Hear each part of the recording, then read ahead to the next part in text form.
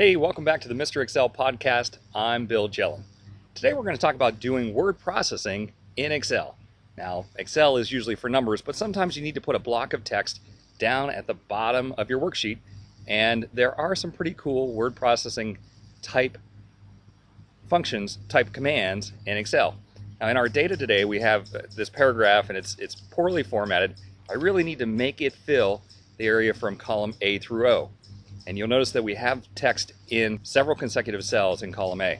So I'm going to select that text and go out to column O.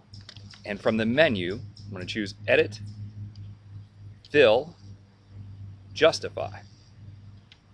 And Excel will automatically make that data fit the area. Now, one of the hassles is if I later come along and make one of the columns less wide or more wide, I'm going to have to use the Edit, Fill, Justify again. So another option here is to use a text box. Text boxes are in the drawing toolbar. It's this icon here. Select that, draw a text box that's roughly the right size.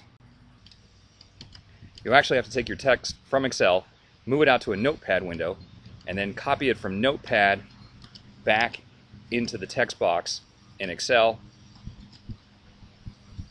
Then as the columns are resized, the text box will resize to match.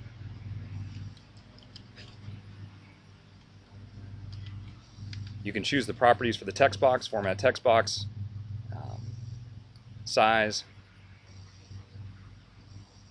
properties, move and size with cells, and then as you resize the worksheet, the text box will get resized and will automatically fill. There you have it. Stop back tomorrow for another podcast from Mr. Excel.